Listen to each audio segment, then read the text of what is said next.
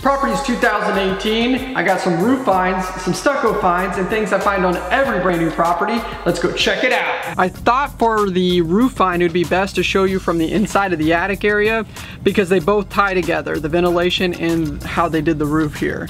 They forgot to add the ridge vent right here or the roofer ridged over it. They may have thought that this was okay because they might have had enough ventilation from the soffit vents, but you need a 50-50 scale. You need 50% of your ventilation on the top of the roof and 50% of the ventilation from the side of the roof.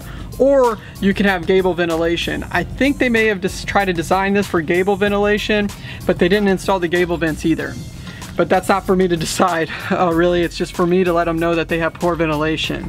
So uh, I'll show you some pictures of where it belongs and then also right here you can see they shingled over it and you have no light coming in from the ridge vents. Okay, the attic space is a little tight up here, but I wanted to be able to show you that the ductwork is turning at a 90 degree angle. I catch this quite a bit on brand new properties. It's crimped, so you're gonna get low airflow in a, in a bedroom.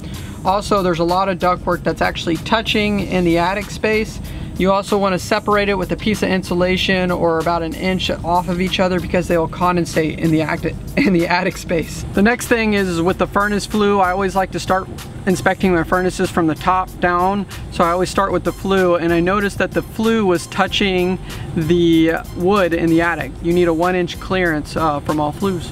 Okay, so for the last thing in the attic space is the primary drain line for the coils actually needs a P-trap over here.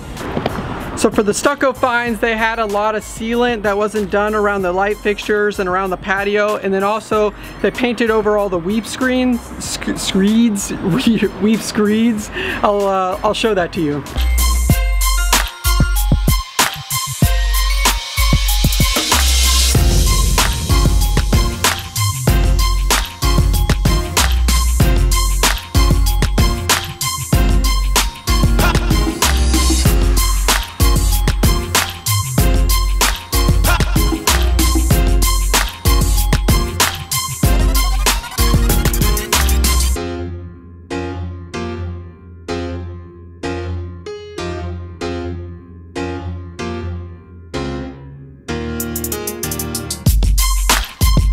I almost forgot, they forgot to install the weep holes above the lintels on the brick veneer siding.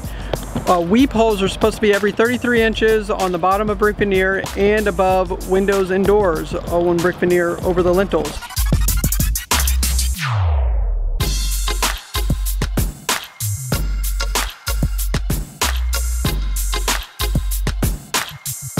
Okay, on a lighter note, your inspector will try to catch even the smaller things like the loose outlets outside. The patios has a little bit of rust marks on the outside, so we just recommend for some small painting. The door's not latching properly, the hardware not working, and then also we caught one window in this one that's not latching 100%.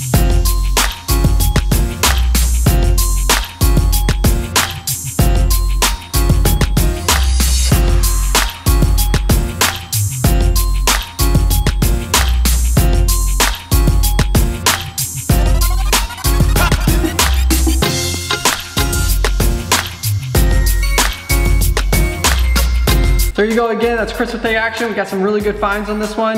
If you have any home inspection questions, please give me a call and please like and share the videos. The fixtures and the, the bottom of the patio that wasn't patios or the you have your ridge board and this is normally where your,